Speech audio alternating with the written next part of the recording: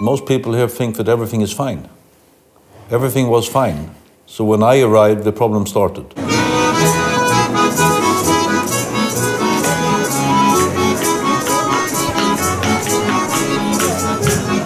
To byla stoprocentně státní společnost. S dobrou ideou založená, ale poté už jenom udržovala zaměstnanost a sociální smír, aniž by byla nucena produkovat zisk. Заводу отдал 39 лет жизни, и этот завод, он мне родной. Я душой болею за него.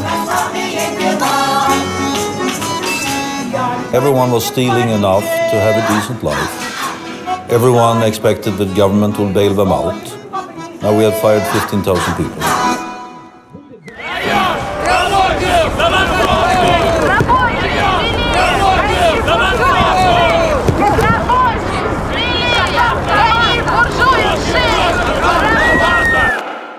And they know I will not stop.